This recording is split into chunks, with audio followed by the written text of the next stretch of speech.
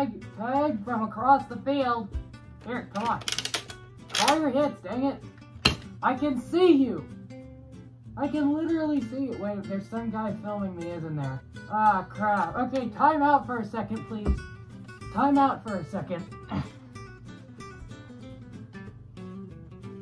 Hello, my name is Carl, and I am a professional camper. Here, let me, let me get out of this thing. So people like to say that I'm camping. Yeah, I am, because this is the best way to win a Nerf war.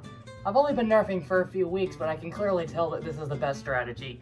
And if you're wondering why I'm boxed in like this and still wearing a mask, it's just in case there's like that 0.01% supreme laser hit that goes right through. I don't want it to hit me in the face. I don't want to get damaged. It is really hard to breathe with this stupid thing on. Oh my gosh, that is so much better. But anyways, yeah, name's Carl. Carl the Clerk. I am a tactical guru when it comes to camping, and I know the optimal strategy, so let's go over my loadout. Obviously, I'm using a Longstrike because it is the best blaster that you can use for a situation like this. And if you've noticed, I have two scopes. Yeah, I do. Two scopes means twice as much magnification. Everybody knows that. You're saying that's not true? I don't believe you. That's lies put out by the government to make sure that people don't understand that this is the best way to nerf.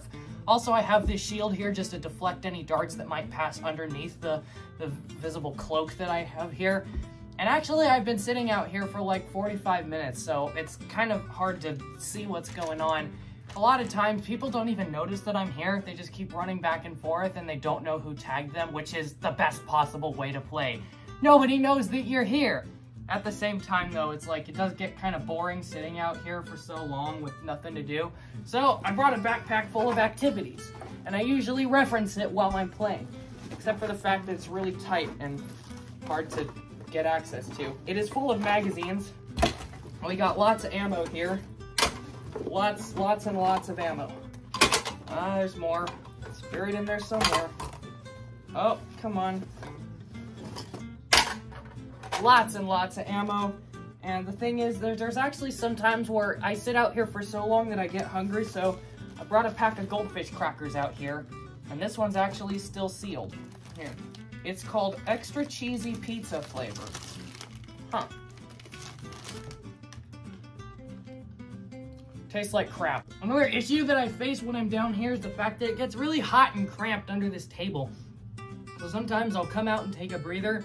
I'll still have my mask on because I don't want to risk getting shot. Even right now, there's still people out there that are playing because I yelled time, but that doesn't necessarily mean that everybody heard me. So a lot of times I'm out here for so long that I just get bored, so I start taking notes. And even sometimes I bring a light out here so that I can read and write, so that I can maybe work on my homework or get some productive things done while I'm out here waiting for somebody to run by.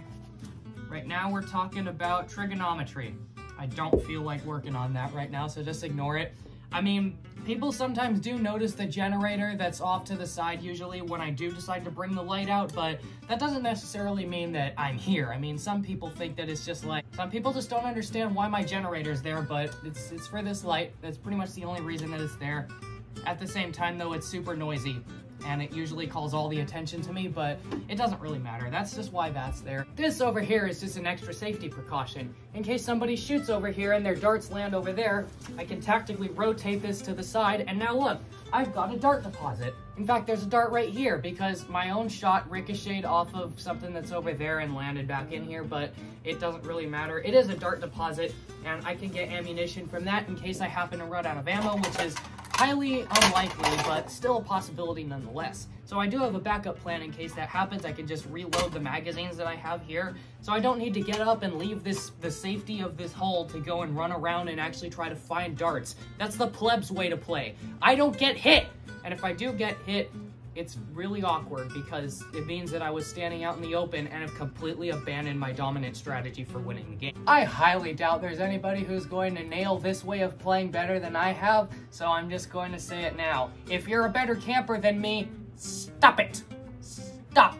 Just stop it. I, I have the I am the only camper on the field. There's if, if you want to start camping, I highly suggest you don't because you're going to have to be facing me. And I am the professional when it comes to camping, all right? You you take that personally. I will come for you, Except when I don't come for you because I this is the dominant strategy. I will literally just sit here and wait for you to come running by. But just pretend like I'm gonna be coming for you, all right? I really need to get out of here. Oh my gosh, it is so tight.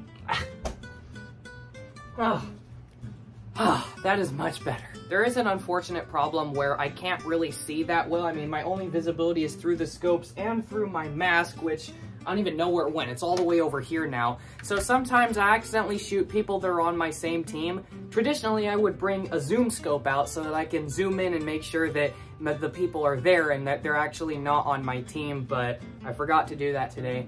I also forgot to bring my tape recorder because sometimes I come out here and it's just, it takes so long that I actually forget what I was talking about writing in the book. So I bring out the tape recorder and I listen in on what my last class was so I can get a refresh on what I'm supposed to be studying and do some work while I'm waiting for people to run by and get precariously sniped from the corner. But hey, that's basically all I got. I highly recommend that you do not start camping because you're gonna have some serious competition on the table. There's no way you're gonna be a better camper than I am. And that's basically all I have to say. Thanks for watching.